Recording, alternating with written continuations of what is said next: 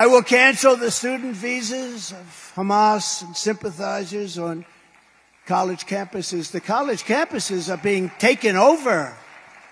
And all of the resident aliens who joined in the pro jihadist protest this month, nobody's ever seen anything like it. Come 2025, we will find you and we will deport you. We will deport you.